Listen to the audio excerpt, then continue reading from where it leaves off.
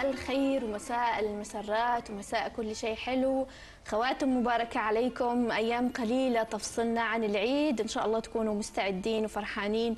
وبدأت أجواء العيد تدخل بيوتكم وابتسامات الأطفال. وتكونوا جهزتوا أنفسكم كذا عشان تقضوا عيد سعيد يا رب إن شاء الله. بمسي عليكم اليوم بحييكم في حلقة جديدة وسهرة جديدة من هل هلالك طبعا سهرتنا اليوم كمان مكثفة وفيها جرعة كبيرة جدا من الجوائز والمسابقات اللي حابين نخلصها قبل رمضان. بيجري بسرعة. وخلوني أمسي كمان على زميلي حسام. كيف حالك يا حسام؟ الحمد لله بخير ومساء الخير عليك يا أروى. وزي ما قلتي آه، جرعة مكثفة للسادة المشاهدين في الأيام الأخيرة من هذا الشهر الفضيل. اللي كمان أمسي عليهم الآن وأقول لكم مساء الخير. إن شاء الله تكونوا سعداء ومبسوطين. ومش عارف هل مبسوطين إنه شهر رمضان على وشك الانتهاء ولا مبسوطين بقروب قروب عيد الفطر المبارك؟ واليوم هي آه، تقريبا ليلة السابع والعشرين من رمضان وإن شاء الله تكون ليلة القدر. فأسأل من الله أن يتقبل مننا ومنكم صالح الأعمال وأي شخص يكون عنده دعوة أو طلب إن شاء الله يدعي وتستجاب دعواته ورغباته. مشاهدينا الأعزاء زي ما قلنا لكم نحن في آخر أيام هذا الشهر الفضيل واليوم هي الحلقة القبل الأخيرة من برنامج هل هلالك لهذا الموسم. موسم قضيناه فيه أوقات وتكلمنا فيه عن أشياء وتفاصيل كثير ووزعنا فلوس كثير في هذا الموسم فإن شاء الله يكون موسمنا لاستحسانكم. كثير كمان. واليوم كمان باقي. باقي اليوم كمان وباقي بكرة إن شاء الله. أيوة. آه الجوائز هذه تكون من نصيبكم. طبعا إذا جاوبتوا على الإجابات الصحيحة كمان آه يعني إيش إيش أقول بس إنه الأيام عدت بسرعة علينا ويعني كنا نتكلم في تفاصيل وأشياء كثير طيلة هذا الشهر الفضيل. كنا كثير إيجابيين هذا الشهر. وهذا الموسم بعيدا عن كل سلبيات وكل أشياء آه، سيئة كانت تحصل يعني سواء في الاعوام السابقة أو حتى في هذا العام. فإن شاء الله يكون عام مليء بالخير والبركات إن شاء الله والعام القادم يكون أجمل وأجمل. وطبعا أجمل بأروى بوجود آه، السادة المشاهدين اللي تابعونا أكيد طبعا وحبهم بيزيد يوم بعد يوم وهذا شيء ملحوظ بنشوفه من خلال رسائلكم وتعليقاتكم كمان على حلقاتنا وفقراتنا على الفيسبوك. محبتكم واصلة لنا وخلونا يعني نقول لكم على الشيء اللي كلكم منتظرينها الآن وهي المسابقات والدولارات. الآن ادخلوا على صفحتنا في الإنستغرام. اليوم مسابقتنا على صفحة الإنستغرام. وجاوبوا في التعليقات على السؤال الذي يقول من هي أول فتاة يمنية تقود طائرة؟ من هي أول فتاة يمنية تقود طائرة؟ هذا هو سؤال حلقتنا لليوم تأكدوا أنكم تعملوا متابعة لصفحتنا في الإنستغرام. وطبعا صاحب أو صاحبة الإجابة الصحيحة بيحصل على جائزة مالية قدرها 100 دولار. طبعا كالعادة اكتبوا إجاباتكم الصحيحة تحت السؤال اللي بتلاقوه في صفحتنا الآن على الإنستغرام. بنأكد عليكم إن إحنا اليوم مسابقتنا موجودة على الإنستغرام وأعتقد إنه سؤال آه، بسيط وجميل. وكمان من الأسئلة اللي حبينا إنكم إن إحنا نخلد معاكم فيها أسماء ناس كثيرة. إحنا حابين نوثق شخصياتهم ونوثق تاريخهم ونوثق بصماتهم في الحياة. فأول يمنية ساقت طائرة لازم كانت تكون آه، موجودة من ضمن أسئلتنا. حلقتنا في في هذا الموسم صح كان عندنا سؤال هو من هو أول سائقه تاكسي صحيح. في اليمن والجزيرة العربية. الآن وصلنا للطائرة. من أول آه يعني امرأة تقود آه طائرة واول فتاة تقود طائرة. وأعتقد كمان سؤال بكرة كمان متعلق آه ببنت. فيعني الختام بيكون معاكم مشاهداتنا ومشاهدينا الأعزاء. خلونا أعرفكم بشروط المسابقة اللي اليوم أكيد بتكون على الإنستغرام والسؤال موجود الآن على الإنستغرام اللي بيدخل بيلاقي السؤال اللي قلناه قبل شوية ونقول لكم شروط مسابقة الإنستغرام. أول شيء بإنك تدخل على صفحتنا في الإنستغرام الغدوائي تعمل متابعة أو فولو للصفحة وبعدها تقرأ السؤال وتجاوب عليه بالتعليقات وكمان تعمل like لنفس المنشور أو ال post أو الصورة اللي موجود عليها السؤال. هذا أول شيء لازم follow بعدين like وبعدين تعليق بإجابتك الصحيحة وتكون معنا من الفائزين. كمان آه لازم انه تكتب تف... تكون تفاصيلك بالكامل متوفرة اسمك بالكامل والمحافظة اللي تنتمي إليها بحيث إنه ما تكونش في أي آه تفاصيل آه ناقصة أو ممكن تعرقل إنه الجائزة توصل لك. أو يمكن أصلا يعني ما تكونش من الرابحين بسبب إنه آه حسابك مثلا يكون باسم وهمي أو مش حسابك الأصلي. فجاوبوا بحساباتكم الأصلية بدون أسماء مستعارة أو أسماء وهمية. كمان الإجابة هي فقط يعني الشخص من نفس أفراد الأسرة فما ينفعش إنه يتكرر أكثر من شخص من نفس أفراد الأسرة. وأيضا وأخيرا تقبل المشاركات من داخل اليمن فقط. هذه مسابقه الإنستغرام خاصة بالإنستغرام فهذه كانت الشروط البسيطة المتعلقة بمسابقتنا على الإنستغرام اليوم وبكرة كمان. إن شاء الله على خير يا رب. وطبعا منتظرين تواصلكم معنا كمان على حسابنا على الإنستغرام على حسابنا على الواتساب. هذا ما لهش علاقة ابدا بالإجابات ولا له علاقة بالأسئلة ولا المسابقة ولا الدولارات ولا أي شيء. هذه آه، بدون مقابل. مشاعر كذا بتوصل لنا منكم وأنتم بترسلوها لأحبابكم من خلالنا. بنقرأ رسائلكم على الواتساب. تشتوا تهنوا حد حابين تقولوا لنا أي شيء خاص بالبرنامج. إحنا آه، منتظرين تواصلكم معنا. رقمنا الآن ظاهر على الشاشة. آه، إن شاء الله تركزوا انكم تجاوبوا بس على الانستغرام وما ترسلوش لنا اجاباتكم على آه، على الواتساب. هذه كانت أشياء بسيطة. دائما نبدأ فيها حلقتنا التذكير بشروط المسابقة على الانستغرام أو الفيسبوك بس الفيسبوك خلاص ودعناه. وأيضا آه، رقمنا الدائم على الواتساب 730 10 90 90 أيام قليلة تفصلنا عن عيد الفطر المبارك والسعيد. الأسواق ممتلئة والكل يتهافت على شراء حاجيات وملابس العيد لبيته ولأفراد أسرته. من تعز معنا تقرير عن هذه الاستعدادات. خلونا نشوف.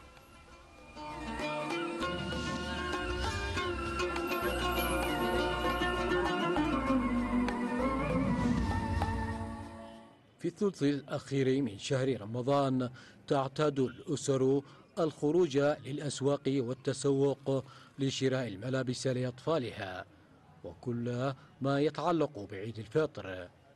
بيد أن هذا العام بات الأمر مختلفا وكابوسا لدى شريحة واسعة من المجتمع التعزي الذي يشكو الحرب والحصار من جهة ومن جنون الأسعار من جهة أخرى نتيجة استغلال التجار.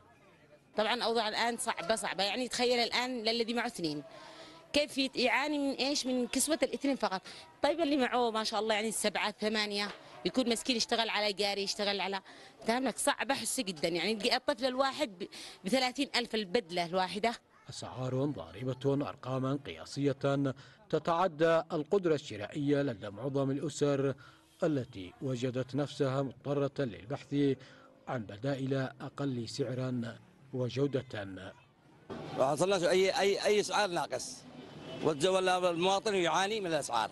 تجي معك 20000 ولا 30000 تطيش كسيبه تدخل المحل ما تقدر تخرج ما تقدر تكسر أي واحد. في ظل ال- الغلاء الفاحش اللي نواجهه هذه الأيام آه، يعني أصبحت آه، معظم الأسر آه، لا تستطيع آه، يعني على شراء كسوة ال- العيد للأولاد. آه، والحالة يعني متعبة جدا في هذه الأيام. يتحدث البعض أن التجار حينما يفقد الريال اليمني قيمته أمام العملات الأجنبية. تجدهم يسارعون برفع أسعار السلع والبضائع الجديدة والمخزنة لديهم والعكس حينما تستعيد العملة عافيتها. لا سبيل لانخفاض الأسعار بالأسواق والخلل هنا بحسب البعض يعود لغياب الرقابة الحكومية على الأسواق والتجار معا. رمز مختار لقناة الغد المشرق تعز.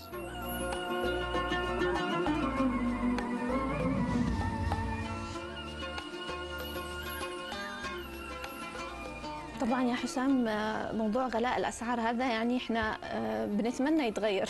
من أول رمضان وإحنا الناس بتشتكي من غلاء الأسعار. ما المشكلة إنه هو هذا الحال يعني أنت ما تقدرش تغير الواقع. بالضبط.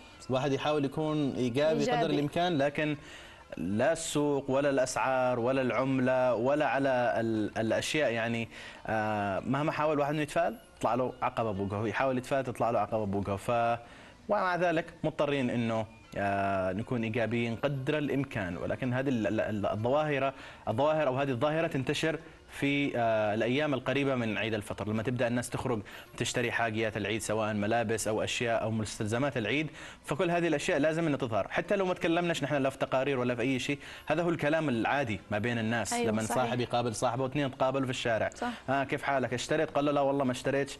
المحل الفلاني بكذا كذا السروال المحل الفلاني بكذا كذا القرم ويروح فاضي ما يشتريش حاجة. فهذا يعني هذا هو الحال. الحال بشكل عام. طيب إيش رأيك نروح لشيء إيجابي وجميل والله يا ريت يا ريت نروح شيء وبننتظره كل يوم ومكثف هذا هذا اليوم اليومين بكثافة هذه الفقرة معنا اليوم في جعبة زميلنا ومراسلنا عيدروس الخليفي أكثر من تقرير. وإحنا قلنا لكم من قبل كونوا مستعدين للفوازير والجوائز في الشارع. رمضان خلاص شارف على الانتهاء ومراسلينا منتشرين. يشتوا يفوزوا أكبر عدد ممكن. لذلك هنروح نشوف أول فائزين في حلقة الليلة من المكلا في فقرة سؤال الشارع.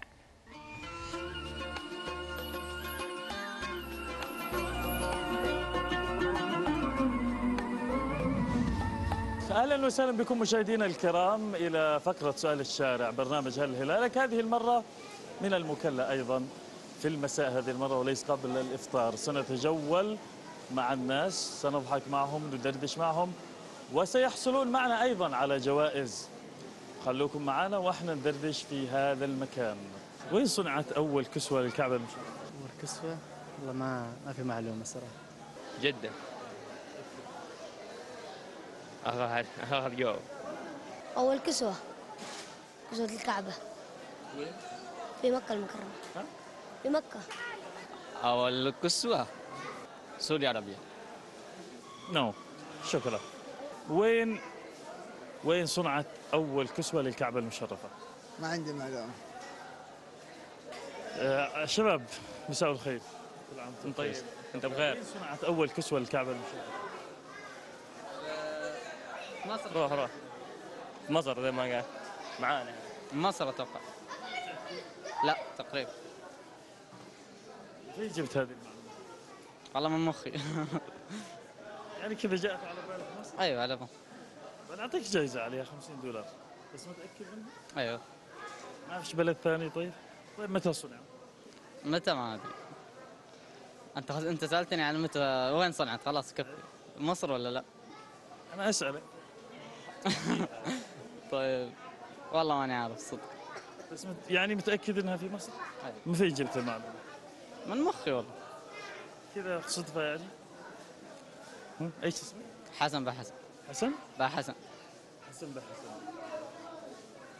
حسن. بحسن إحنا جينا هنا بالصدفة لقيناك وسألناك ومبروك عليك فزت معنا بجائزة 50 دولار مقدمة بقناة الغد المشرق برنامج هل هلالك فقرة سؤال الشارع.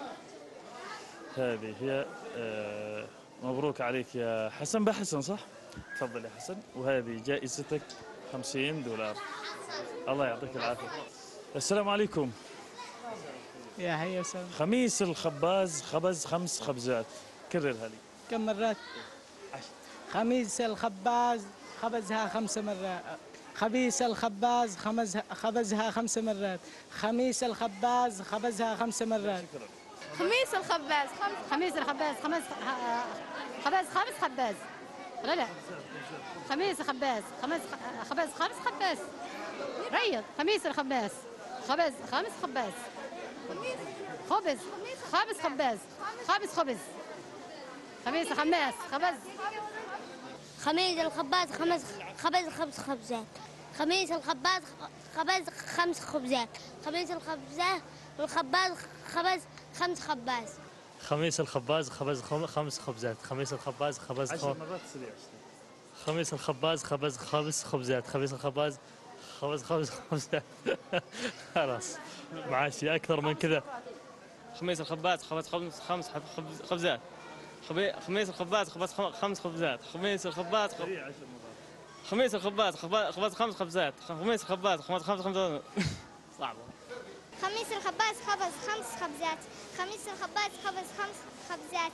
خميس الخباز خبز خمس خبزات. خميس الخباز خبز خمس خبزات. خميس الخباز خبز خمس خبزات. خميس الخباز خبز خمس خبزات. خميس الخباز خبز خمس خبزات. خميس الخباز خبز خمس خبزات. خميس الخباز خبز خمس خبزات. يا سلام عليك يا من يا ليلى؟ أيوة. ليلى من؟ ليلى باوزير ليلى بوزير. هذه أختي بس التقيتوا بالسوق. مبروك عليك يا ليلى. أنت فزتي معانا بجائزة وقدرها 50 دولار مقدمة من برنامج هل هلالك فقرة سؤال الشارع. هذه 50 دولار. سمعوا لها تحيه يا أطفال.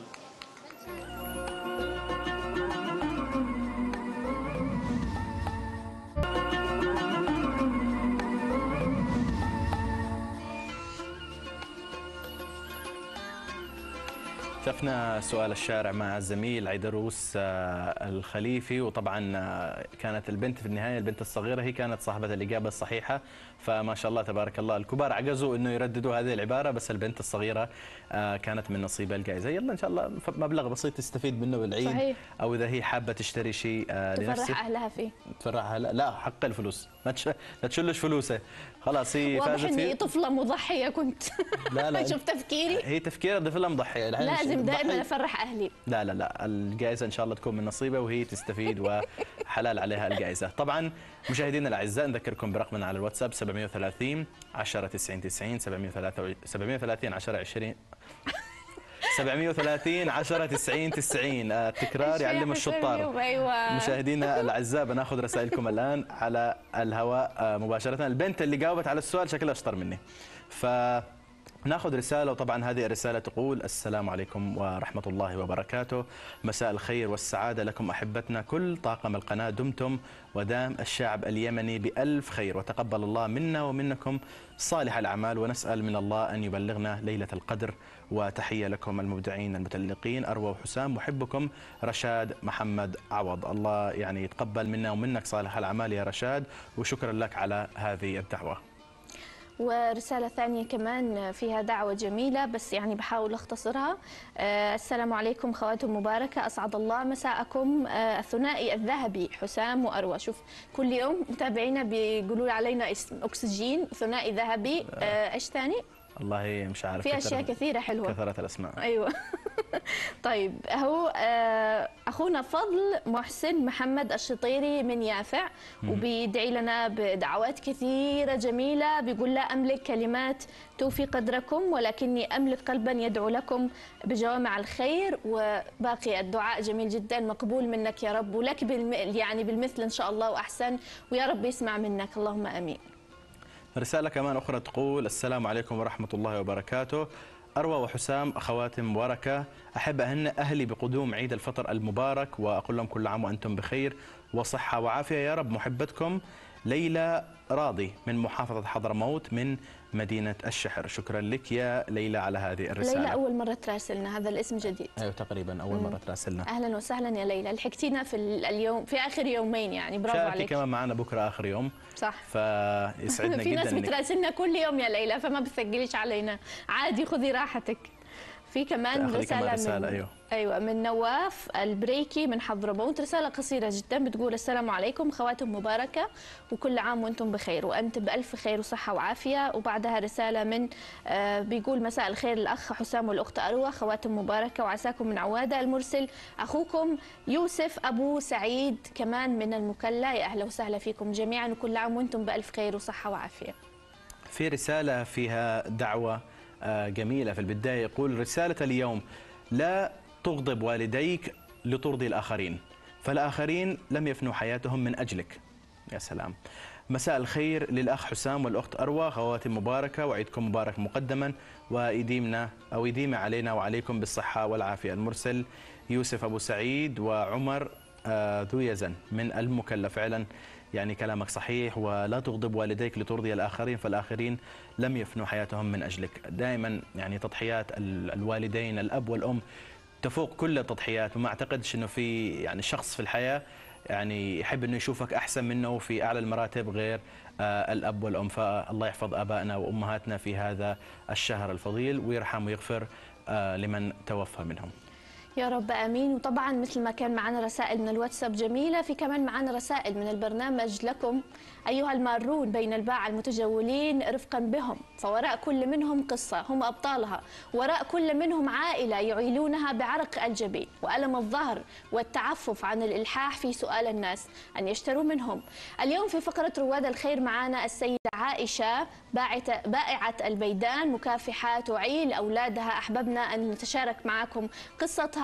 علها تكون همسة في أذن فاعلي الخير وفي أذاننا جميعا.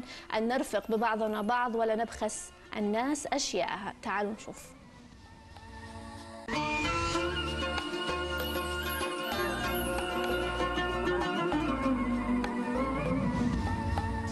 أهلا بكم مشاهدينا إلى فقرة رواد الخير من برنامج هل هلالك هذا المساء نحن في أحد شوارع مدينة المكلا نساء كثر يواجهن متطلبات الحياة الصعبة لتوفير لقمة العيش الحلال.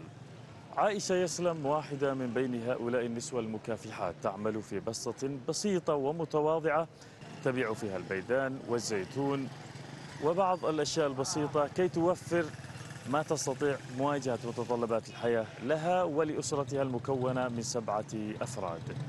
سنتعرف الآن على قصتها وعلى ما تعمل فيه وكيف تواجه متطلبات الحياة؟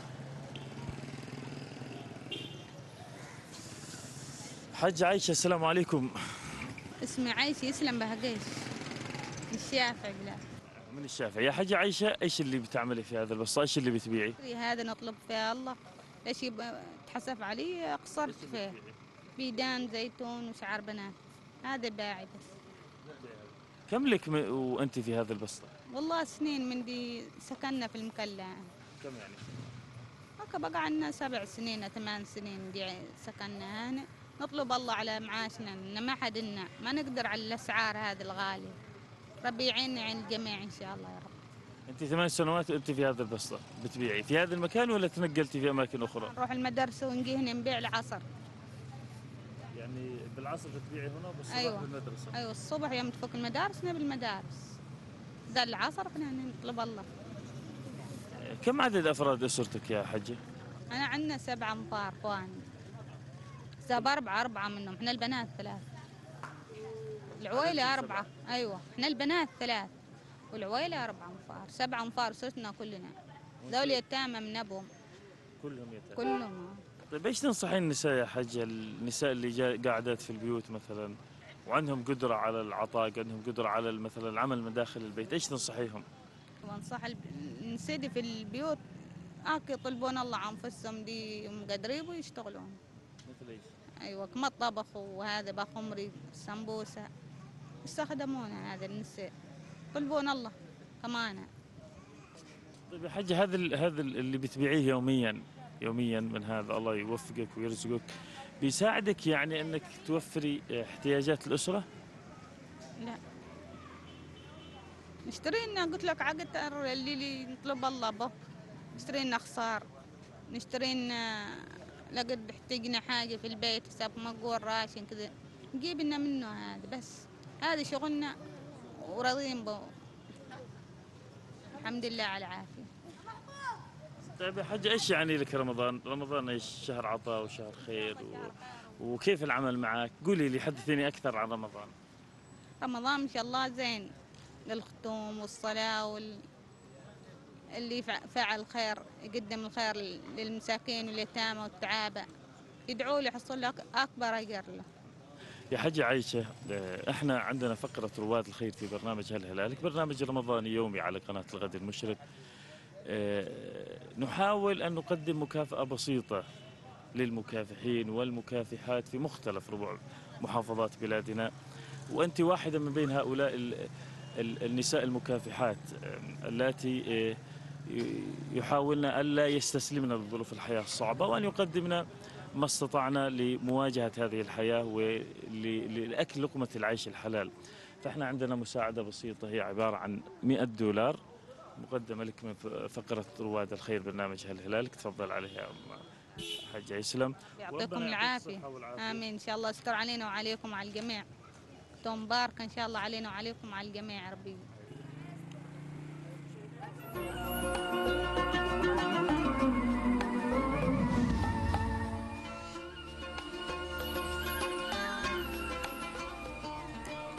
بنوجه تحية خاصة لكل يعني اللي بيبيعوا في الشوارع والباعة المتجولين كان بيتعبوا من الشمس وحرارة الأجواء وال- والبهذلة في الشارع. يعني حسام أنا أعتقد أنه الباعة المتجولين هؤلاء من الفئة المظلومة لأنهم يعني هم ما بيلجأوش أنهم يروحوا يفتحوا مشروع في الشارع أو يشتروا أو يجلسوا بشيء يبيعوه في الشارع إلا إذا خلاص ضاقت بهم السبل ومش عارفين كيف يجيبوا فلوس. فبيخترع لنفسه مشروع أنه بجيب شوية أغراض كذا واجلس في الشارع. يمكن ممكن لعل وعسى أبيع وأشتري وأكسب أي فلوس حلال يعني. هي في النهاية يعني مصاعب ومشاكل وهموم الحياة والالتزامات والمسؤوليات الكثيرة على الواحد هي اللي تدفعه إنه يعني يخرج آه، ويشتغل ويكسب من عرق جبينه بأبسط الإمكانيات. يعني شفنا هذه السيدة في هذا الفيديو مع زميلنا عيدروس الخليفي.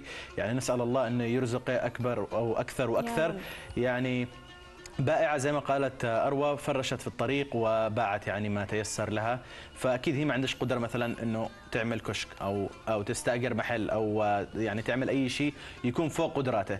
فالناس اللي زي هذول يعني حتى لو أنت مثلا ما بتاكلش الشيء اشتري منهم بالبسيط يعني أكبر بخاطرهم.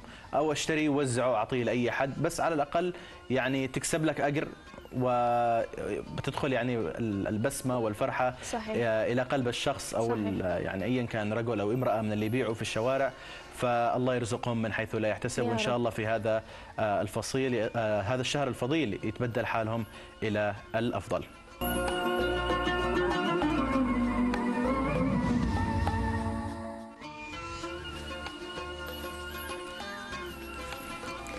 أهلا بكم مرة أخرى مشاهدينا الأعزاء ورجعنا لكم من هذا الفاصل. طبعا لا تنسوا تدخلوا على صفحتنا في الإنستغرام وتجاوبوا على السؤال اللي يقول من هي أول فتاة يمنية تقود طائرة. من هي أول فتاة يمنية تقود طائرة؟ طبعا السؤال آه، ظاهر أسفل الشاشة والسؤال موجود على الإنستغرام. صاحب الإجابة الصحيحة بيحصل على جائزة مالية وقدرها 100 دولار. اكتبوا إجابتكم الصحيحة تحت السؤال. بتلقوها الآن في صفحتنا. وفي نهاية الحلقة بنعلن عن اسم الفائز. من اللي بيكون ولد ولا بنت بحكم إنه سؤال اليوم يعني متعلق يعني بشخصية تاريخية فإن شاء الله تكون الإجابة من نصيب الشخص اللي آه، يستاهل الجائزة. في عندنا أشياء ومفاجآت آه، تعود لنا كل أسبوع يا أروى. صحيح. واليوم؟ زميلتنا أحلام اللي اللي هي السبب في إن إحنا اليوم مطقمين معاها ولابسين. نفس الملابس. والألوان. فما تتفاجئوش إحنا كذا أصحاب متصلين ببعض جدا بنحب بعض لهذه على الدرجة. التوضيح. أيوه لازم الناس تفهم إيش الألوان نسمع مع بعض. أهلا وسهلا يا احلام وحشتينا. وافتقدنا الفقرة اللي بتقدميها لنا جدا ومنتظرين من أول الأسبوع إحنا جالسين نقول للمشاهدين احلام أيوة. معنا. معاكم. دائما إن شاء الحمد الله لله على السلامة. الله يسلمك حبيبتي. تسلمي. الحمد لله على السلامه من حضرموت إلى أيوة. محافظة جديدة اليوم. بس أحب أقول لكم خواتكم مباركه آه، حسام رب. وإن شاء الله الفقرة حق اليوم كمان تكون ختامها مسك. مثل ما قلت لكم بالفاصل وكمان لمشاهدينا.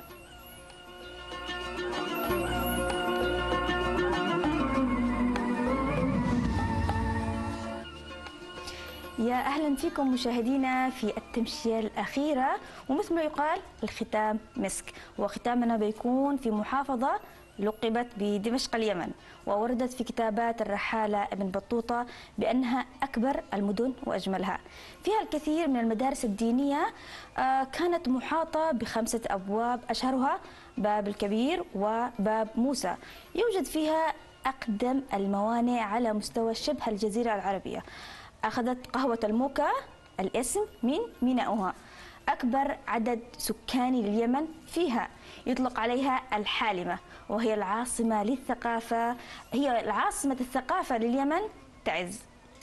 وأهم المعالم في محافظة تعز قلعة القاهرة مثل الجوهرة تقع في مرتفع صخري وسط المدينة كانت تسمى تعز يعني قلعة القاهرة كانت تسمى تعز.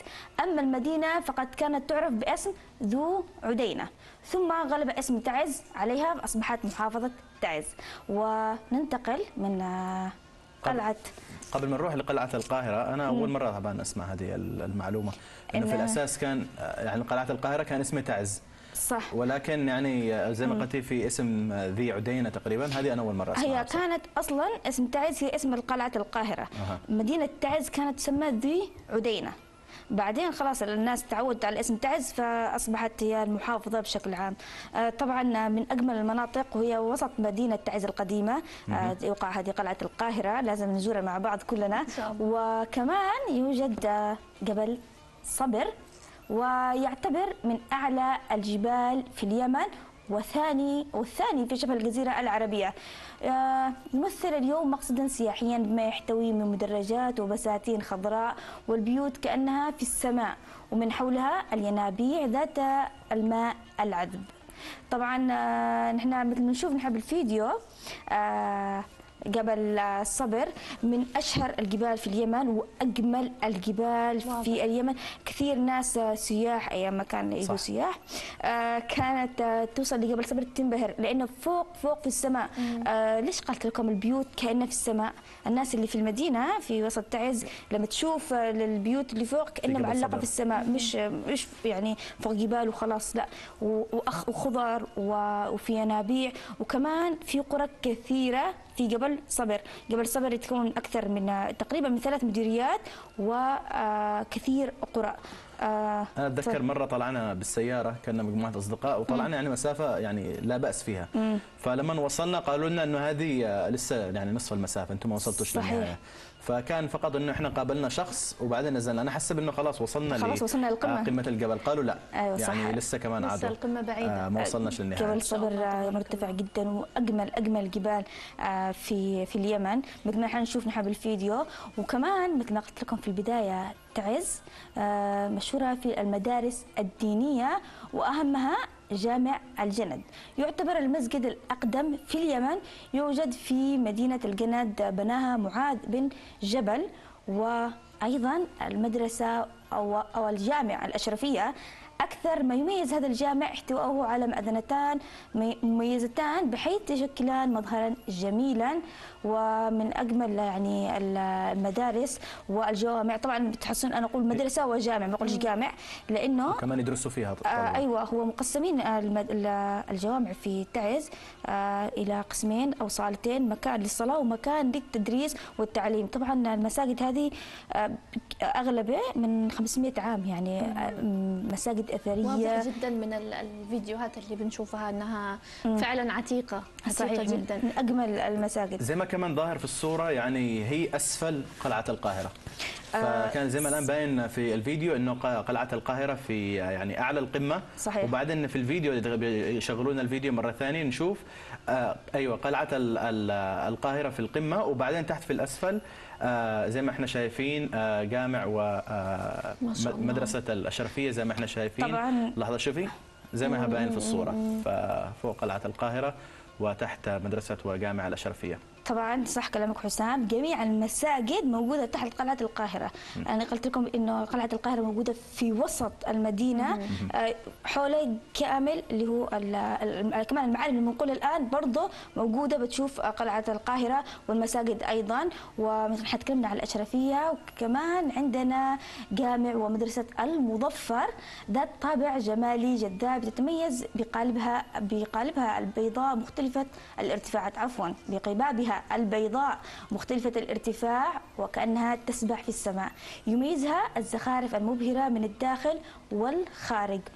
أعتقد طبعاً. من أقدم ال- الجوامع تقريبا. المظفر والأشرفية واللي جاي الآن والمسجد الجنة اللي تكلمت في البداية من أقدم الجوامع. آه، طبعا آه، مسجد آه، أنا تكلمت قلت آه، قل- قبابها هي قباب أنا غلطت من اللي هي المآذن. أيوة. آه، أيوة. ففي كمان عندنا جامع ومدرسة المعتبية وتتألف من صحن مكشوف لها ست قباب مزينة من الداخل بالزخارف نفذت بألوان على طبق من القص. طبعا آه، مسجد المعتبية لي ذكرى جميلة معه. يعني كلمت حسام. طبعا زمان قبل عشر سنوات كنت في محافظة تعز. ومثل ما نشوف مسجد المعتبية كان قريب ش- من بيتنا كنت أنزل هناك نروح ناقل مي فكنت أناقل مي و... يعني عايشة أقول. فلما شفت اليوم جلست أقلب ذكرت. أيوة، ذكرت أيام زمان. فذكريات حلوة والمسجد جميل جدا. صح إنه قديم بس كل ما هو. قديم كل ما هو جميل يزداد يعني جمال. كمان آه، مدينة تعز آه، المدينة القديمة كانت محاطة بسور كبير ولها أبواب وابواب أشهر أبوابها الباب الكبير وباب موسى. آه، طبعا يمثلوا بوابة رئيسية لمدينة تعز وكان قديما يقفل الأبواب في المساء ويفتح في الصباح في الصباح. حاليا يعتبروا معالم تاريخية بتواجد فيه أو يتواجد فيه محلات للأزياء الشعبية والحلي والبهارات اليمنية. طبعا في لسه أبواب لمحافظة تعز ولكن أشهرها مثل ما قلت باب موسى والباب الكبير. حتى شفنا كمان في شيء نفس الشيء يمكن بصنعاء حتى صنعاء عندهم أبواب. الباب اليمن أيوة. ذكرتيني الآن بصنعاء الآن بخ... تعز كانت آه، مصورة بشكل عام ولها من أكثر من باب تقريبا خمسة أبواب. كمان بما أننا إحنا في باب موسى خلونا نروح للقبة الحسينية أو مثل ما يقولوا آه، أهل تعز المعصورة. إن شاء الله ما أكونش غلط معصورة أو المعصور حاجة أيوه عصور آه طبعا هي تقع بالقرب من باب موسى لا توجد معلومات محددة عن سبب بنائها يقال أنه كان يوضع فيها مم، المخازن المخازن آه،. كان يوضع فيها المخزون يعني ال- الحبوب والسلاح وأسطورة ظريفة. يقال أن قرد كان يسرق الذهب من البيوت ويضعها بداخل هذه القبة. والله أعلم. طبعا مش آه، إنه إنه قرد. إنه طيب. فتحوا رجعوا بعدين شافوا في حد. يأخذ ويتعذر بالقرد ليش تصدق. على القرد؟ طيب عشان حتى القرد ما يهرب منها كمان آه، أنا دي معلومة بالنسبة لي أنا جديدة وظريفة وحبيت آه، أهل تعز يعرفوا شجرة الغريب وهي تعد من أكبر وأقدم الأشجار عمرها 1500 عام. آه، تقع في قرية الشمسرة في دبي. آه، طبعا الشجرة غريبة الأطوار والشكل لونها يشبه جسم الفيل ولها جذع ضخم ولا ولا تخرج منها إلا ثمرة أو ثلاث كل عام. كما يقال وتظهر آه، يوما واحدا فقط ثم تختفي في الليل ويقال الكثير من الأساطير أن ثمارها علاج للعقم والكثير يعتقدون أنها شجرة مباركة يزورها الكثير من أصحاب الأمراض والباحثين عن الحاجات مثل الزواج والكثير من حامين فكر الخرافة طبعا أعتقد إنه أكيد. السياح يعني في الفترة يعني اللي كانت جداً. الأمور يعني بشكل صح. مستقر في البلد فزي ما حتى الآن شايفين في, الصور أعتقد إنه آه، كانت مزار للسياح إنهم صحيح. يتصوروا يعني ما شاء الله شايفين بالصور يعني شجرة بحجم يا هائل جدا. غريب. ذكرتني بشجرة دم الأخوين في جزيرة سقطرى صحيح. أيوة هو- نفس الأساطير ونفس الأشياء بس هذه والحكايات ميزته إن الجذع آه، الشجره كبير جدا أيوة، ما شاء الله. وفروعه كثيرة وإنه ميزته إنه فيش أي ثمار. يقال إن هي بذرة من آه، من أفريقيا. قد عبر الطيور ويعني زرعت أو إنه آه، مش عارفة إيش يقولوا. برضه الله أعلم. بس يعني بالنهايه الكلام أيوه كله يقال أساطير. إن لأنه موجودة هي في أفريقيا فمن أجمل الأشجار وحلو لما يكون في حاجات قديمة مثل ما قلت كل ما قديم جميل. بتصدقوا في موضوع الأساطير إنه آه، نهائيا لا. أبدا؟ نهائيا. على لا. حسب أحب أقرأ ممكن عنها تكون يعني. قصص ممكن تكون قصص الجدات يعني. على يعني حسب القصص. أوقات تكون في حاجة مقنعة. ممكن. ممكن إحنا مش فاهمين الآن زمان كانوا آه، ممكن يقتنعوا. فعلا كانت حقيقة. بس الآن آه، على حسب الآن زادت يعني. أو إنه آه، ما كانتش اسطوره كانت حاجة وبدأت التخاريف من كلام لكلام. زودوا الكلام يعني. حرفت هذا. طبعا يعني يعني مش في تعز بس في كل محافظة أيوة، في كل في مكان. قصة في أسطورة جنية مش عارف إيش يعني وادي دائما يتكرر مسكون هالموضوع أيوة. مش عارف إيش كهف في حاجات صح. كثيرة وناس أيوة. يعني تزيد يعني فتحور يعني القصة أيوة. أصلا وكمان آه، هناك العديد من الأسواق ودي معلومة جميلة جدا مثل سوق السبت في حيفان وسوق الأحد في موزع وماوية والضباب وسوق الثلاثاء في النشمة ودمنة خدير ومقبنة وسوق الأربعاء في التربة وسوق الخميس في الشنيني ومقبنة وسوق الجمعة في جبل حبشي. أنا جلست أسأل يعني قلت كل الأسبوع فين الاثنين؟ فواحد قال يمكن إجازة. يعني أنا استغربت المعلومة. هو هو هو البائعين نفس الأشخاص يروحوا آه، كل يوم في هذه المديريات.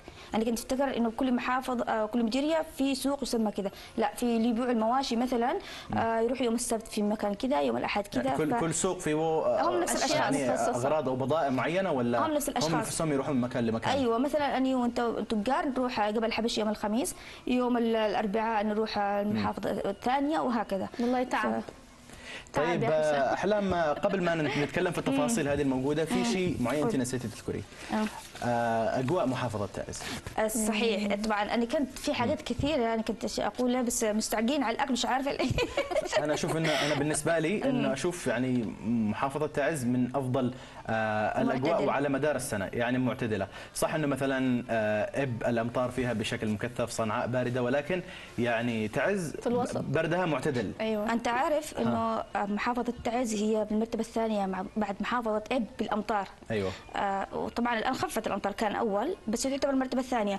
وناحية درجه الحرارة هي حرارته معتدلة لا هي مثل المناطق الشمالية والجنوبية. واصلا أصلا موقع محافظة تعز آه، بين الجنوب والشمال فجو واخذ من الشمال واخذ من الجنوب فزي ما قلت لك حتى في الصيف وكم- يعني صح إنه الصيف معروف إنه مثلا درجة الحرارة مرتفعة ولكن عندهم على الأقل كان ينزل مطر يوم في الأسبوع صحيح. أنا قررت قضيت فترة هناك وحتى لأنها تعتبر قريبة من عدن يعني لما كانت الأمور مستقرة كانوا حتى يطلعوا يعني شباب من أبناء عدن يعني تمشية صح. كان صح. يروحوا تمشية اللي تعز جميلة بس ساعة جداً. ونص بالسيارة أو ساعتين صحيح. فيروحوا من الصباح يعني وغدا وجلسة وكل شيء ويرجعوا نهاية اليوم أنت عارف إنه آه، في لعدن. منتزهات كثيرة جدا في منتزهات مبنية فوق حجار مثل آه، نسيت اسمه في التربة برضه في آه، منتزه مبني فوق حجار فوق جبال جميل جدا. في جبل صبر برضه آه، مبنى في منتزهات كثيرة.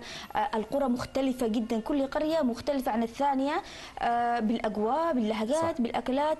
آه، نحن نتكلم الآن على تعز القديمة ونحاول أن نتكلم على بقات ال- ال- القرى الموجودة. طبعا آه، في حاجات كثير نحن نفسنا نتكلم عن تعز بس بنبدا مثل مستعجلين على الأكل آه، ولازم نشوف إيش موجود طبعا بالطاولة. هم هم هم مطبخهم هم مطبخهم يعني أنا ريحة آه، الجبنة اللي طالعة يعني من وقت ما حطيتوها أيوة. والريحة طبعا قاعدين أحلام جابت. يعني حاجات يعني بسيطة. واللي هو المطبخ يعني كبير ومتنوع من بس كثر ما نفكر آه، إيش نجيب بحلقة تعز آه، تسيبنا المعلومات قاعدين مركزين بالأكل إيش ممكن نجيب احترتوا أيوه فطبعا أشهر أشهر أشهر شيء في تعز اللي هو القمن التعزي لأنه هو الوحيد اللي آه، يصنع في تعز. في تعز عكس آه، للأسف طبعا قل ال- يعني نسبة بيعه ما عادش بشكل كبير زي أول يعني كان دائما بشكل كثير منتشر. ولكن يعني حاليا يعني صار بالنادر عاد تشوفه أو آه، هو أو على. حسب الناس أو بانه لأنه. صار بالنسبة للناس يعني مكلف وصارت آه، غير مربحة هذا طبعا الجبن المالح جبن المالح زي ما أنتم أيوه هذا. عبارة عن مش كل الناس طبعا. يقدروا له بسبب الملوحة يعني الصحيح هو في ملح كثير جدا وكمان يصنع حسام أنت عارف بدرجات من الملوحه في مالح خفيف في مالح كثير وممكن إحنا بقترب الشيف آه، إذا هو مالح كثير تبول له بشوية مي اللي هي ربع ساعة نص ساعة تخف الملوحة آه، طبعا هو ما ياكلش أو ما ياكلش بهذه الطريقة. آه، مثل زي ما كانوا يضحكوا إنه جدا مالح وله نكهه. قوية جدا مثل تغطي ريحة الجبن أيوة. هو يأكل مع السحاوق اللي هو آه، طماطم وبسباس أو فلفل. أو حتى يرشوا يعني على السلطات تقريبا حاجة زي كذا بشكل ممكن خفيف. هذه الناس الكيوت نحن نتكلم. لا قوة إلا بالله. أيوه السلطات وحركات نحن ناكله في السحاوق أو يقدم مع العصيد أو مع هي الفتة بس بتاع يقول الفتوت. آه كمان آه ممكن آه مع الخبز أو ياكل مع الخبز والسحاوق خبز طبعا عندهم هم معروف نوعين عندهم. أيوه اللي هو خبز. نسميه واحد ملوح وال- والرطب. يعني هذا هي أيوة. ال- الأشياء المعروفة اللي تتباع هنا بالمخبز يعني الأكلة اللي يأكلونها كل الشعب صحيح. يعني الغني والفقير. طبعا الأكلات اليمنيه تتشابه ولكن كل محافظة كذا له ميزة أو خلطة خلطة معينة. آه، مثل عندنا كمان فتة التمر وفتة الموز. آه، طبعا آه، فتة الموز. في ناس كثير تحب الناس أذواق طبعا في الأكل وكل واحد طريقته. آه، فتة الموز أيوه. لا لا بنخليه بنخليه يذوق طبعا. أيوة. آه، حساب دي فتة موز وفتة تمر والخبز. آه، حاولنا نجيب حاجة بسيطة. آه، هو لك المطبخ. المطبخ منوع وفي الأشياء اللي. تكون أنا بقول لك لا بس أنت تاكل وأنت تاكل أو تذوق. هو- بقول لك أيوه بقول لك أيوه. بقول لكم بعض الأكلات اللي هي اليمنية آه، أو التعزية بشكل خاص مثل المقصقص، المقصقص اللي إحنا نعرفه في ما قلت في محافظة السابقة اللي هو الخمير أو باخمري في حضرموت اللي هو المقصقص اللي هو الخمير، والزوم اللي هو المطيط مثل ما تكلمنا أيوة. في على ح- في حلقة صنعاء. صنعاء. ولكن آه، في لمسات يعني تعزية في بهارات خاصة. وكمان الفطير محافظة تعز تشتهر بالفطير سواء الدخن أو الهند.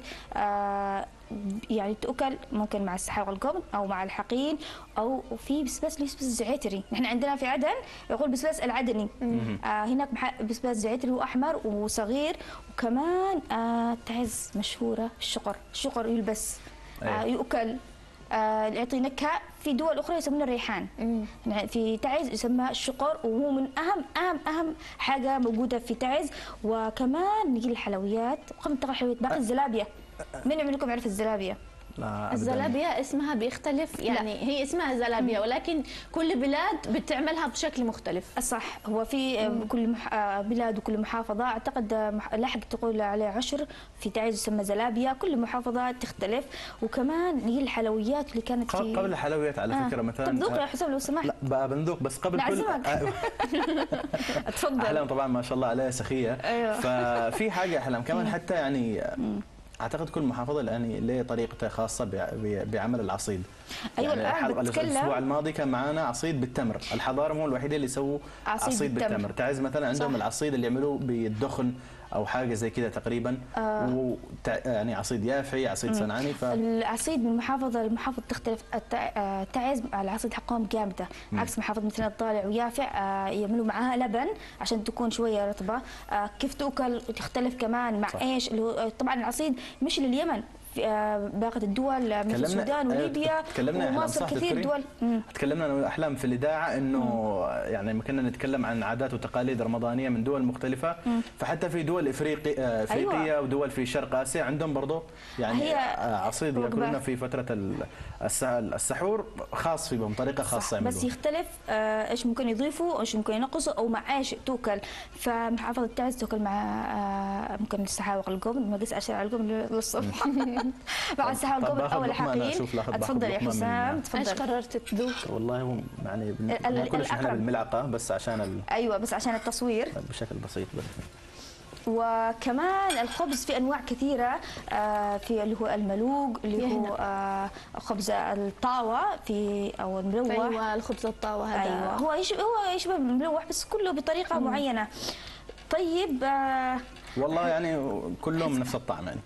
كل المطاعم تسوي نفس عليها مش عليها. كل المطاعم تسوي نفس ال- الطعم فما فيش مطعم يختلف عن مطعم إلا بعدين الناس اللي يزودوا طبعا هي أشياء. الموز آه، خبز وموز وسمن آه، مثل أي فتة عادية. سوا في البيت الناس حتى يسوونها في البيت. أيوه نسويه وخاصة في رمضان آه، وقت ال- قريب السحور لأن وجبه ثقيلة شوية أيوه. تسند معك لثاني يوم وأنت في, أيوة، أيوة، في, خلاص. ال- في الأيام العادية عادي تتاكل بثلاث الأوقات. يعني ممكن تفطر و... صح. وممكن تكون بالغداء وتكون تكون عشاء وناس ممكن هنا يعني بعد الأكل تكون حلاية مثل يقول إنه يح- يحلوا. برضه لأن هي حالية مع ال- الموز.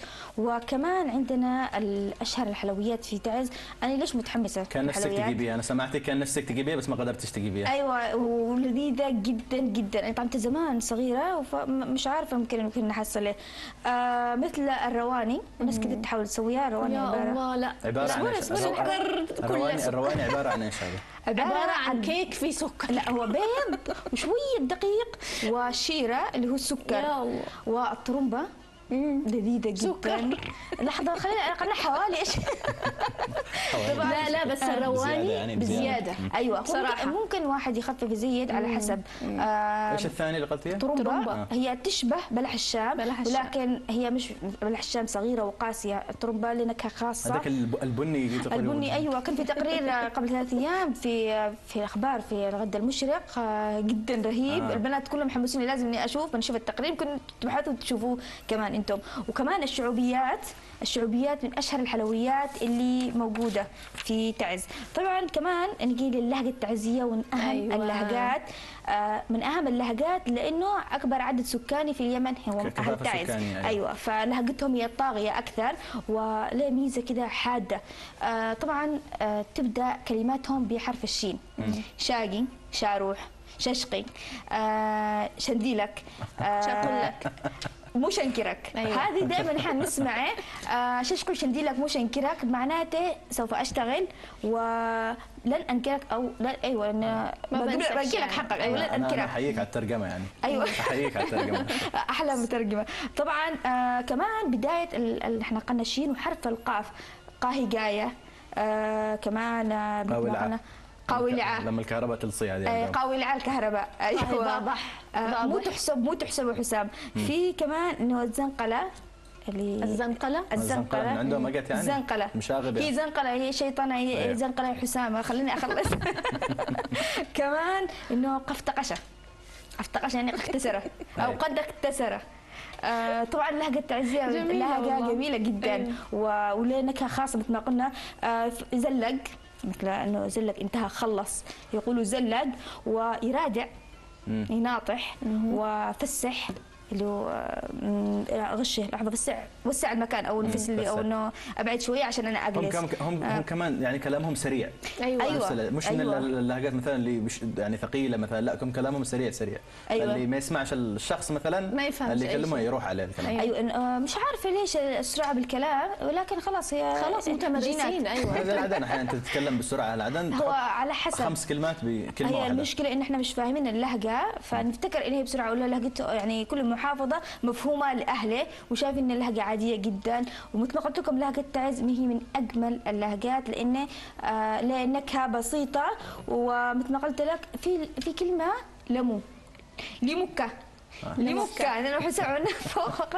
لمكة يعني ليش ليش كذا؟ موكا لماذا؟ اللي أيوة. موكا تذكرها بالذات اللي كان كررها كثير الزميل والممثل عزيز بكار باشراحيل في مسرحية على حركرك كان باع خضرة وكان دائما يكرر كلمة لي موكا لي ليمو موكا أكا ليمو أكا تحية إنه لك يا ليش. كذا أكا كذا وليمو ليش؟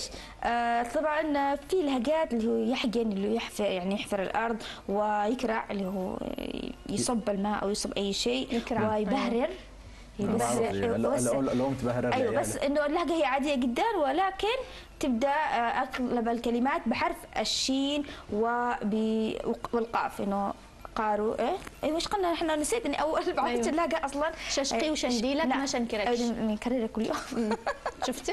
أيوه ششقي وشنديلك مو شنكرة أيوة، هذه أشهر جملة على أيوة. فكرة في نحن. ليش أنا حافظاها الآن لأنه خلاص نسمعها دائما أيوة. هو مثال طبعا آه، حسام وأروى يعني كان إحنا قدمنا أربع محافظات.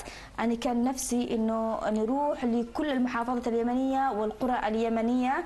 آه، طبعا آه، كل محافظة مميزة بلهجاته بأكلاته آه، بلبس. في حاجات كثير كنا نتكلم لكل محافظة بس حبينا نختصر جزء بسيط جدا لكل محافظة. المحافظة اليمنية معروفة إنه. أهل الكرم والجود ونحن نفسنا نروح كل مكان ونفسنا نروح الأرض الواقع كنا بس. حبينا الحين رمضان اخذنا ما الناس كانوا كاتبين لك في التعليقات يا أحلام اللي كاتب لي. أحلام متى إب متى شبوة متى ابين أيوه نفس كل الناس أحلام ما أسعفش الوقت انه تذكر كافة المحافظات صحيح. فكان فقط معنا عدن وحضرموت وصنعاء واليوم. كنا مع محافظة تعز طبعا. فنشكرك يا أحلام على التمشية في اليمن هذه الفقرة الخاصة شكراً. فيك اللي يعني أخذتي لنا كذا بجولات. قصيرة ونشكرك كمان على ظهورك معنا في هذا الشهر الفضيل وأول ظهور لك. وإن شاء الله كمان نشوفك في أشياء أخرى إن شاء آه، بعد الله. شهر رمضان المبارك. إن شاء الله. كل توفيق لك يا إن شاء الله. أحلام. إحنا استمتعنا جدا معك يا أحلام. كانت فقرة موفقة وممتازة. حبيبتي. وأنت جبتي المختصر المفيد اللي استمتعنا فيه جدا. ما يعني تسلمي. ما فيش ما تقوليش إنك كان في أشياء وما فيش. فعلا فعلا أنت اختصرتي. على فكرة الاختصار أصعب بكثير من إن أنت. تسردي صح. كل شيء. أنت صحيح. جبتي أحلى شيء من كل شيء. صحيح. كل عام وانت بخير يا أحلام انت. كل أسرتك وأحبابك. يا رب. ونشوفك في أعمال قادمة إن شاء الله. إن شاء الله. إن شاء الله بإذن الله. ان شاء الله. تسلموا. كل عام وأنتم بخير. وأيضا مشاهدينا آه، إن شاء الله أكون قدمت آه، ما يليق بكم وبالجميع وإن شاء الله أخواتكم بركه وأقول لكم كل عام وأنتم بخير. وممكن إنه الآن نطلع فاصل. مع السلامة.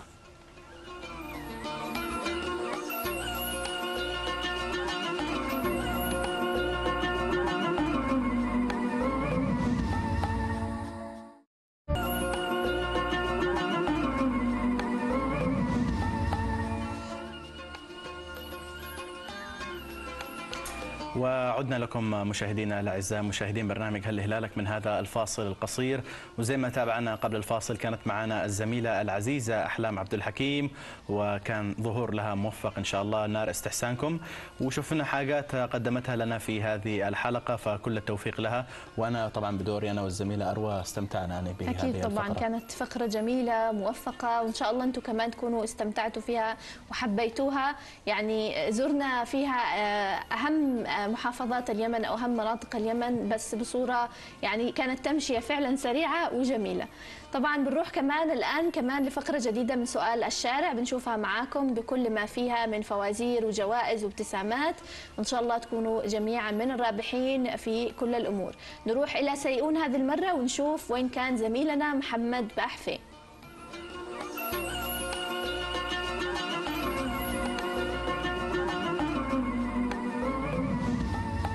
أهلا وسهلا بكم مشاهدينا الكرام في فقرة سؤال الشارع، نحن اليوم نتجول في أسواق مدينة سيون لنتعرف على أسئلة شيقة وفائزين جدد.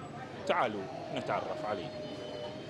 كيف حالك؟ الحمد لله طيب معنا سؤال تمام وعليه جائزة من قناة الغد المشرق إذا جاوبت عليه.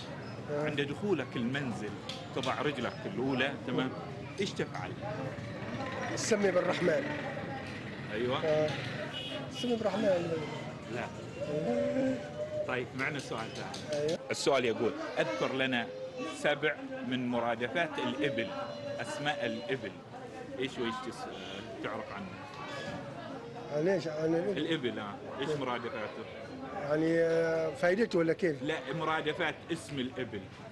اسمه البعير. أيوه. والناقة أي- أيوه. البعير والناقة وال البعير والناقة أيوه. حلو. البعير والناقة والإبل. عاد له أسماء كثيرة. نحن لا اكتفينا بالسبعة بس. آه. أنا هذا اللي أعرفها تعرفها آه. يلا شكرا لك. يلا سهلا. اشترتي إيه؟ فساتين حق العيد. فساتين. تلبسي فستان. وإيش عاد اشترتي؟ كلها حق رمضان. آه كمان. كما الثوب أيوه. والحذي أيوه. والشنطة آه. والكاسات أيوه حلو. وخذها والطقم آه. بغيتي العيد تجي ولا يتمي رمضان؟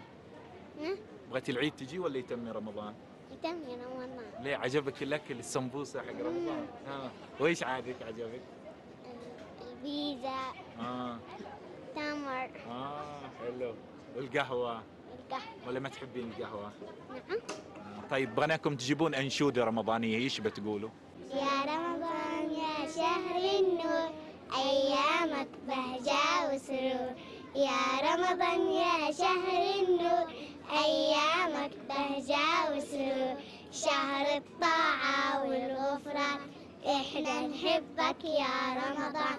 شهر الطاعة والغفران إحنا نحبك يا رمضان. ونرحبك يا رمضان ونرحبك يا رمضان. جيب لي سبعة من مرادفات اسم الإبل. الإبل له سبع أكثر من سبع اسماء لكن بغينا سبعة بس. إيش وإيش؟ العيس.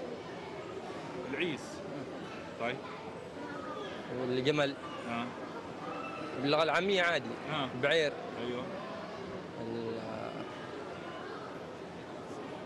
النوق طيب حلو. الحين خمسة ذكرت لك. خمسة عاد آه. اثنين. الجمل والبعير والعير والعيس العيس. والناقة.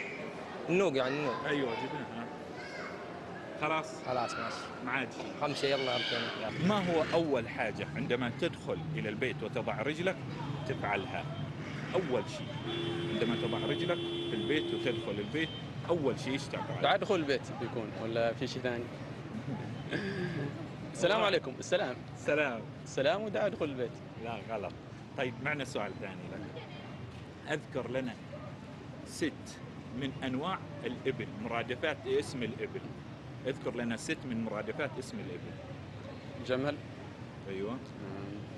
ناقة. أها. ست كثير.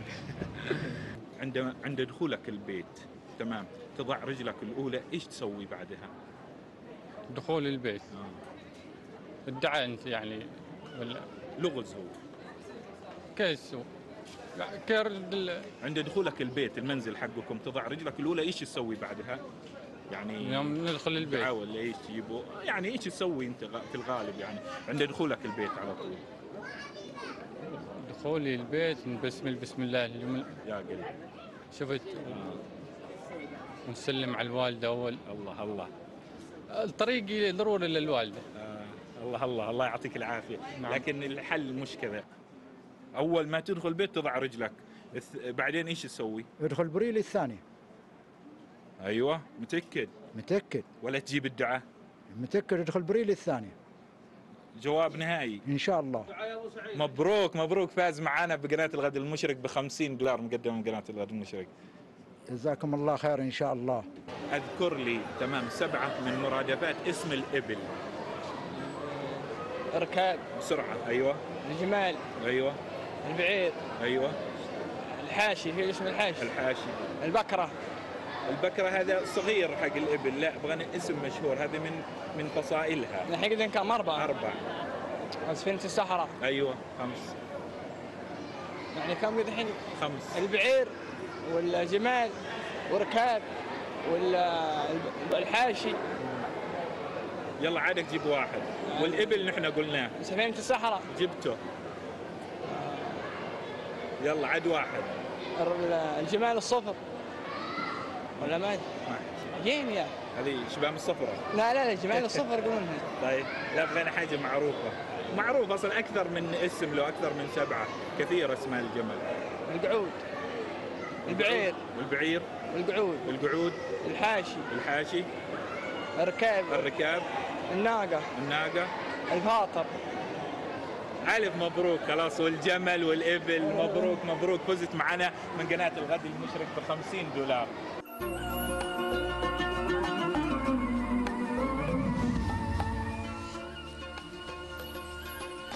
عدنا لكم مشاهدينا الأعزاء من فقرة سؤال الشارع وألف مبروك للفائزين معنا في هذه الفقرة وألف مبروك لكل الفائزين في الحلقات السابقة وبكرة كمان بيكون معنا تقريبا آخر آه، يوم لفقرة سؤال الشارع فبنشوف من بيكونوا الفائزين معنا اليوم غد اليوم نحن لسه في حلقة اليوم فبنقرأ الرسائل المتبقية لهذا اليوم وبعدها بنعلن عن اسم الفائز بسؤال هذه الحلقة. أول رسالة طبعا من أمنية حافظ. من عدن تقول السلام عليكم مساء الخير. نورتونا بطلتكم الجميلة وأسعد الله أوقاتكم بكل خير. أروى وحسام وأحب أشكركم على كل ما تقدموه من فرح.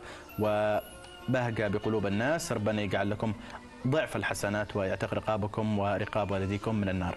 اللهم آمين وأتمنى منكم ومن أي أحد يسمعنا أنه تقرأوا رسالتي أنه يدعي لي أنال ما بخاطري وجزاكم الله خيرا. الله يرزقك ما في خاطرك إن شاء الله ويحقق لك كل الأشياء اللي تتمنيها بحق هذه آه، الليلة الفضيلة في هذا الشهر الفضيل لنا ولك إن شاء الله. آمين يا رب. الله يرزقها أمنية يعني يجعل لها من اسمها نصيب يا رب. آه، من مريم هزاع آه، بتقول مريم هزاع سعيد عبد الله يحيى من محافظة عدن. أحب أهنئكم وأهني أبي الغالي وزوجة أخي بسام وفي محافظة تعز وأقول لهم خواتم مباركة وعيدكم مبارك مقدما. إن شاء الله توصل هذه الرسالة يا آه، مريم وتوصلهم وهم في أتم الصحة والعافية. وعيدكم جميعا يكون سعيد ومبارك عليكم يا رب. عمر أو عمرو قرطوب باقديم السيباني. يقول السلام عليكم وخواتيم مباركة. ربنا يتقبل منا ومنكم صالح الأعمال. حبيت أشارك معكم وإن شاء الله تقبلوا صداقتي وأحب أهني أهلي وأحبتي من آل آه، بيتي الآل باقديم خاصة وسيبان كافة وأصدقائي جميعا. ولكم بقدوم العيد وأهل البرنامج وربنا يوفقكم دائما يا رب. شكرا لك يا عمر قرطوب باقديم السيباني شكرا لك على هذه الرسالة. وآخر رسالة بنقرأها لكم اليوم وصلتنا من آه، المرسل ناصر أحمد الخنبشي اليافعي من عدن المنصورة. بيقول السلام عليكم ورحمة الله وبركاته. أسأل الله في هذه ال- الأيام الا يتم الآخر أن يعتق رقابنا من النار. أحب أهني أهم من في قلبي مكانه أخواني وأخواتي وعمي وعماتي وخالاتي وأولادي جميعا وبناتي كافة. وأهني أغلى وأجمل ما في الكون عندي زوجتي آه، أم أمين المرسل ناصر أحمد الخنبشي. الله يحفظكم لبعض يا رب إن شاء الله. ويدوم بينكم المحبة والمودة طول العمر. وعيدكم مبارك مقدما إن شاء الله. إن شاء الله. مشاهدينا طبعا وصلنا إلى الإعلان عن اسم الفائز بسؤال حلقتنا لهذا اليوم واللي كان يقول من هي أول فتاة يمنية تقود طائرة؟ من هي أول فتاة يمنية تقود طائرة؟ والإجابة الصحيحة هي روزا عبد الخالق. الإجابة الصحيحة هي روزا عبد الخالق. وصاحب الإجابة الصحيحة هو طارق علي أحمد من محافظة الضالع.